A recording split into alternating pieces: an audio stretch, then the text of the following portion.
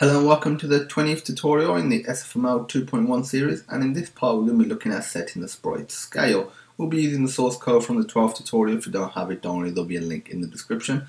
Similar to setting the sprite's rotation, you can set the sprite scale, which scales it absolutely relative to its original scale, which is 1. Hence applying this form of scale multiple times won't have any effect.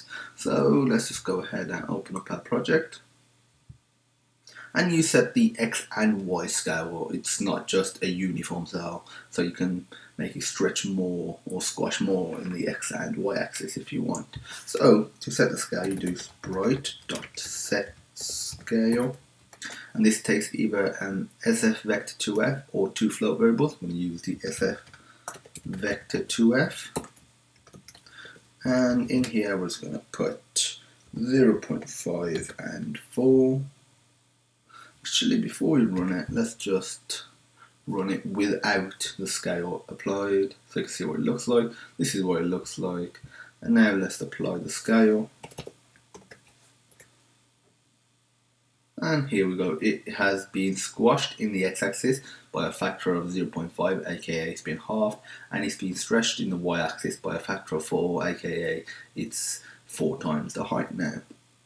So what we're going to do is just copy and paste this several times so you can see that it doesn't actually change if we apply it multiple times. As you can see, it's exactly the same.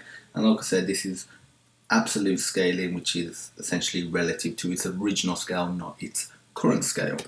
You can also get the scale of the sprite by doing sprite dot get scale. This returns an SF vector 2f. Then you do dot x or y, which is going to do dot x, std, and line. Now if we just run this again, as you can see, it has printed out a value of 0.5.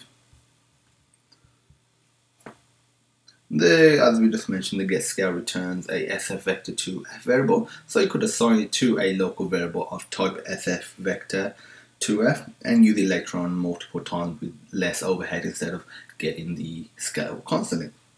There is also another method for scaling a sprite which scales it relative to its current scale Hence this is useful for applying multiple scales. This will be covered in the next tutorial though. If you have any questions, feel free to message us at support at sonarsystems.co.uk. The email will be in the description. You can comment on this video or just directly message us via YouTube All the required links for source code will also be in the description. And as usual, thanks for watching and I hope you have a great day.